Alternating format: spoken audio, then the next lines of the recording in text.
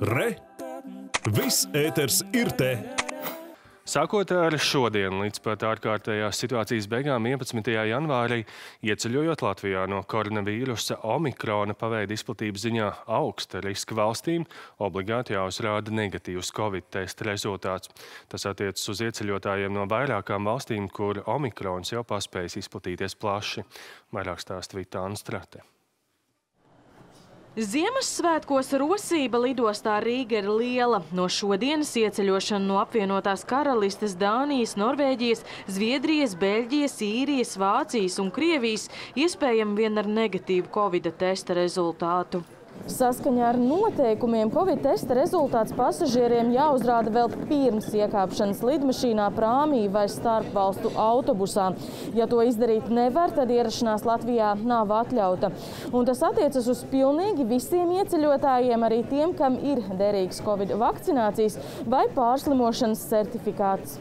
Marija un Vladislavs ieradušies no Vācijas. Papildu drošības prasības esot saprotamas.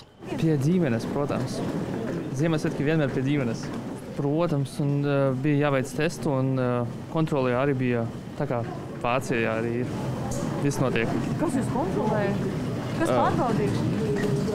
Aero- Pārbauda uh, lidosta tikai pie uh, bagāžu nodošanas. Prasīja jums parādīt. Jā, jā. Jā, Un tā kā normāli. tā kā normāli. Jā. Iemesls ir eh, tāds, ka uh, Eiropā strauji izplatās uh, jaunais uh, Covid-19 uh, variants Omikrons. Uh, šīs ir tās valstis, kur Omikrona izplatība uh, vietējā sabiedrībā ir uh, jau uh, augstā līmenī. Un šīs arī tās valstis, uh, kurās uh, ir daudz mūsu uh, tautieši, kuri varētu uh, uz uh, svētku periodu uh, ierasties uh, Latvijā tādēļ minētās valstis attiecīgi ir iekļautas šajā sarakstā, kur uh, pirms ieceļošanas ir nepieciešams veikt Covid testu.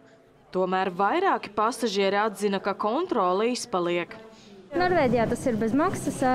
Tests tiek veikts 24 stundas iepriekš. Ziņojums bija nodots, ka tas testi ir vajadzīgi un tie tika izpildīti, bet neviens viņus īstenībā nav pajautājis vēl līdz šim.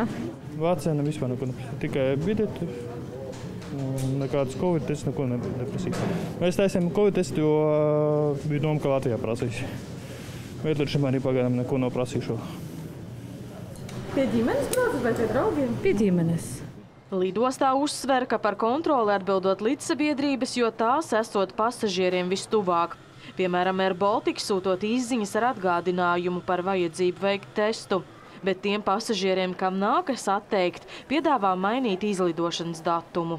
Šodien jaunās ieceļošanas prasības attiecas uz 18 Air Baltica ielidojošo reisu pasažieriem, ņemot vērā, ka jau ilgstoši uzņēmuma darbinieki pirms izlidošanas pārbauda dažādos ieceļošanas dokumentus, jaunie noteikumi uzņēmuma darbību būtiski neietekmēs.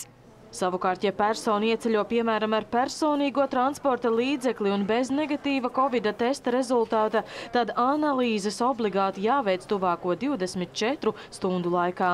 Vita Anstrati Vožepitskis, Latvijas televīzija.